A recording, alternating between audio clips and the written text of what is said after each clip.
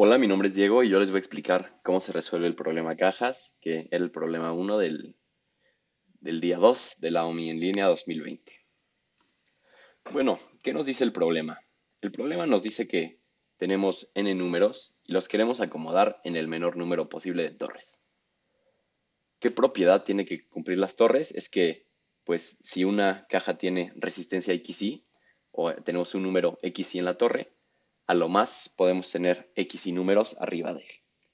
Entonces, esa es la propiedad que, tiene que cumplir eh, las torres y tenemos que minimizar el número de torres que, generamos. Algunos de las eh, torres eh, que sí podíamos generar, que eran válidas, son estas dos, por ejemplo, 10350, porque para cualquier número es mayor al número de cajas que tiene arriba, ¿no? Y alguna de las eh, posiciones o bueno, torres inválidas que podíamos generar es como esta. Tenemos aquí un 0, pero tiene, tiene capacidad 0 o resistencia 0, pero tiene tres cajas encima, por lo que esto no es válido. O en este caso tenemos un 2, tiene resistencia 2, pero tiene tres cajas arriba, por lo que es otra configuración de una torre inválida. Ahora, la subtarea 1 nos decía que n iba hasta 10, lo cual siempre es importante analizar los límites y ver qué soluciones o qué complejidades podrían ser eh, factibles. Y en este caso nos permite soluciones factoriales. Entonces, ¿cómo podemos aprovechar que n es tan pequeña y podemos hacer una solución factorial? Bueno, podemos eh, pensar qué pasa si hago un greedy. Podemos eh, intentar ver cómo se podría comportar una solución greedy. Y, y pues, ¿qué pasa si yo itero sobre las cajas en orden y, voy creando torres solo cuando sea necesario. Entonces, ¿cómo se ve este greedy o cuál es la idea detrás de este greedy? Eh, imaginemos que yo empiezo insertando o creando una nueva torre con la primera caja y a partir de ahí el cero, pues checo. Tengo una caja por aquí, tengo una torre que todavía aguanta, entonces la meto ahí con ella. Luego checo el 1.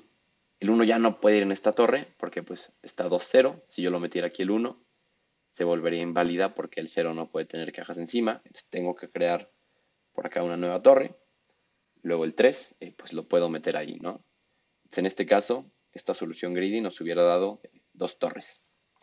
El problema es que en este caso eh, es posible hacerlo solo con una torre, que es 3, 2, 1, 0. ¿Y por qué falló esta solución? Fue por el orden en el que insertamos los, fue por el orden en el que insertamos los valores si yo hubiera primero insertado el 3, luego el 2, luego el 1 y luego el 0, eh, solo hubiera creado una torre. Pero bueno, como tenemos n menor o igual a 10, eh, es posible simular todas las posibilidades, es decir, todos los órdenes posibles. Y como a lo más es 3 millones y medio, esto pasa en tiempo perfectamente.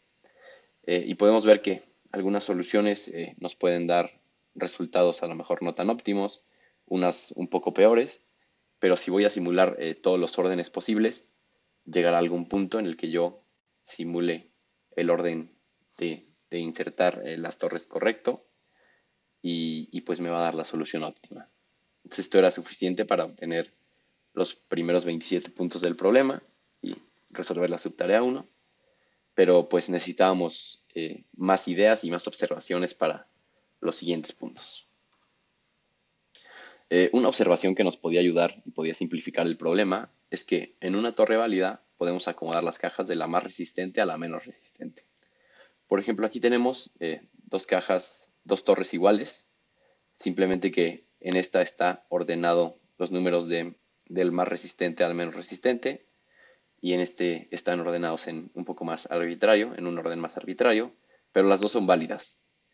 Y lo que lo que quiere decir esta observación es que siempre podemos llegar a una solución válida eh, con, torres ordenadas de mayor a menor. ¿Por qué esto es cierto? Eh, ¿Qué pasa si yo tengo un ¿Qué pasa si yo tengo una solución válida en, en un orden arbitrario y yo cambio un número mayor por un número menor que está abajo? Pues este número menor sabemos que era válido, entonces funcionaba bien, tenía menos de ese número de cajas arriba. Y si yo lo cambio, pues le estoy poniendo un número mayor, por lo que le estoy dando un poco más de espacio, lo cual no invalida la solución.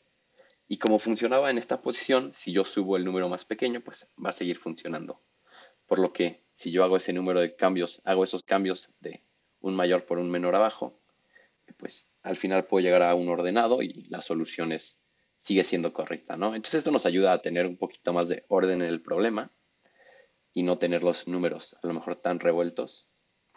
Entonces, eh, esto nos puede llevar a lo mejor a una idea de que, pues, siempre insertarlos, como habíamos visto en la primera subtarea, eh, siempre insertar los, los, números en orden, eh, pero cuidado que no siempre funciona ordenar de mayor a menor, meterlos en ese orden, como podría parecer. Por ejemplo, en este caso, si yo tengo 6, 5, 1, 1, 0, 0, yo voy a intentar meter 6, luego el 5, luego el 1, luego el 1. aquí voy a crear una torre porque todo eso es válido. Pero luego voy a meter el 0. Eh, el 0 ya no va a funcionar porque esta, esta caja que tiene un 1 por aquí ya no permite que haya un 0 arriba porque tendría dos cajas. Y entonces esta solución va a crear tres torres cuando eh, la solución óptima pues solo genera dos. En este caso eh, sería así, ¿no? 651100. ¿Y por qué falla este, el, greedy? En, o sea, ¿por qué no, no funciona siempre con, las, con ordenar de mayor a menor? Y es porque eh, a veces mete números grandes eh, arbitrariamente en las torres sin saber que a lo mejor sería más conveniente ponerlo abajo, ¿no? Entonces, hay que tener cuidado con esto y, pues por eso es que no, no funciona siempre ordenarlos de mayor a menor. Pero bueno, para la subtarea n menor o igual a 100 eh, no es posible iterar sobre todas las configuraciones iniciales como lo hicimos para la primera subtarea y pues ya vimos que el grid no siempre sirve para datos ordenados de mayor a menor. Pero aquí va la observación 2 y es eh, ¿qué pasa si yo fijo el número de torres que, que voy a tener? ¿Qué pasa si yo intento eh, encontrar una solución para un número fijo de torres? Pues cuando yo elija las bases de esas torres, eh, pues quiero que sean los más resistentes posibles. Es decir, yo voy a agarrar los números más grandes para que sean las bases. Porque no, si yo tengo un número grande o un número chiquito, pues como sé que va a ir hasta abajo, sé que, me conviene darle espacio y, y pues que sea lo más grande posible. Y pues las siguientes cajas pueden ser acomodadas en un orden similar.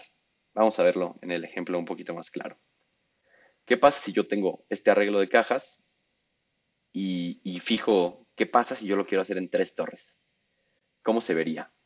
Pues yo voy a elegir las, las bases como las más, las más resistentes, ¿no? La caja 10, la caja que tiene 8 de resistencia y la caja que tiene 6. Ahora, la siguiente caja es 5. Yo la quiero meter en en la torre más resistente, que sería el 10 en este caso, porque pues es la que más resistencia tiene, con la que más resistencia todavía tiene, ¿no? Para poder intentar hacerla lo más grande posible. Y para los siguientes, eh, para los siguientes, para las siguientes cajas puedo hacer algo parecido, ¿no? Irlos metiendo como en orden, ir balanceando las, las torres. En este caso, si se fijan, eh, si yo fijaba las tres torres y los metía en este orden, llegaba a una solución inválida.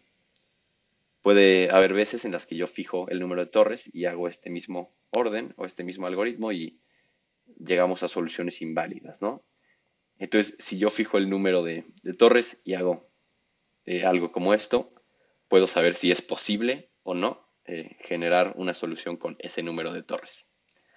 Entonces, eso nos lleva a una solución de poder fijar el número de cajas. ¿Qué pasa si yo solo tengo una, si solo tengo dos, solo tengo tres? Hasta n cajas y pues puedo empezar en 1, en 2, en 3 y en el momento en el que encuentre una correcta, pues simplemente la imprimo, ¿no? Eh, como a lo más puedo probar eh, n diferentes posibles torres y, para cada una de estas torres em, tengo que iterar sobre todas las cajas, eh, tiene una complejidad cuadrática y pues no es suficiente para, para obtener los puntos de la subtask 3, pero sí para los de la subtask 2. Una pequeña observación era necesaria para, obtener todos los puntos y es que si puedo hacer x torres, eh, también puedo hacer x más un torres. ¿Por qué? Porque si tengo x torres, puedo hacer la misma solución y simplemente quitar una cajita de arriba, pasarla a la, a la torre x más 1 y pues es una solución válida, ¿no? Entonces, si puedo hacer x torres, también se puede hacer x más un torres. Y si no puedo hacer x torres, pues tampoco puedo hacer x menos 1 torres. O sea, si no hay una solución válida para x torres, no hay una solución válida para x menos 1 torres. Eso tiene sentido porque si no lo pude hacer con x torres, si yo le quito espacio, pues menos se va a poder. Entonces, eh, las pruebas que yo estoy haciendo se van a ver como no, no, no, no. En algún punto ya se va a poder. Y a partir de ahí siempre se puede la solución. Entonces, eh, esto nos, nos da una, una ayudita, por lo que no tenemos que probar todos los números en sí, sino que puedo hacer una solución eh, con una búsqueda binaria, en la que si yo encuentro un no, pues ya sé que no es necesario eh, preguntar hacia atrás, y si yo encuentro un sí, pues sé que no es necesario preguntar hacia, hacia adelante. Entonces puedo ir siempre reduciendo a la mitad del rango de búsqueda y, y solo hacer log n pruebas. Cada prueba me toma n de complejidad, lo cual nos lleva a, una complejidad de n log n, que es suficiente para obtener los 100 puntos de este problema.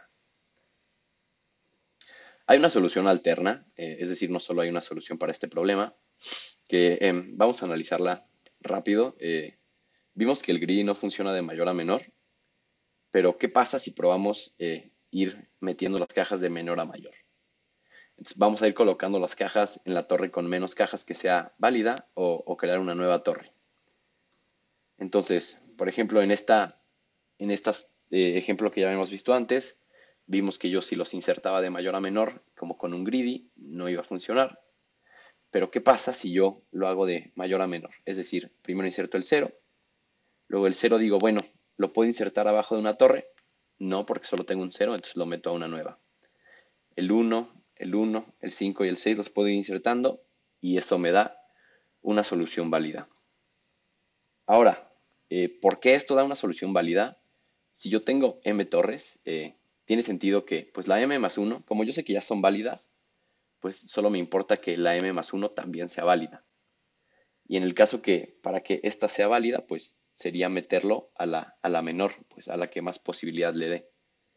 Eh, y eso, pues, si se fijan, va a ir manteniendo las torres equilibradas y solo va a ir creando nuevas torres cuando sea estrictamente necesario por lo que esta solución eh, es correcta y pues se puede simular en n cuadrada, es decir, para cada una, pues iterar sobre todos, buscar eh, la torre que tenga el menor número de cajas y insertarla ahí, eh, lo cual es suficiente para obtener los puntos de la subtarea 2, pero no es suficiente para obtener todos los puntos de la subtarea 3, es muy lento.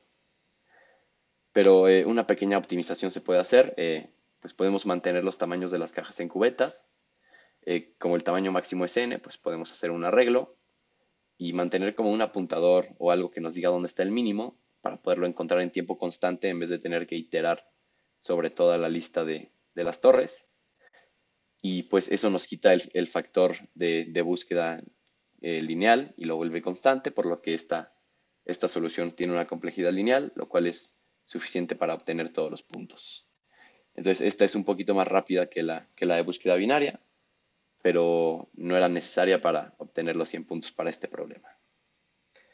Eh, como recursos adicionales, eh, ya saben, les recomiendo, eh, está el GitHub de la OMI 2020, en donde pueden ver casos, soluciones, la redacción, todo de los problemas, entonces, pues eso lo pueden checar, pueden ver los códigos de en C++ de cómo se implementa lo que se comentó en este video.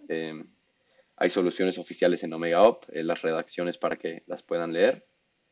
Y también tenemos el Discord de la OMI para que si les quedan dudas, eh, les pregunten a un olímpico, nos pueden preguntar a nosotros, acercarse para que quede clarísimo y pues es todo. Gracias.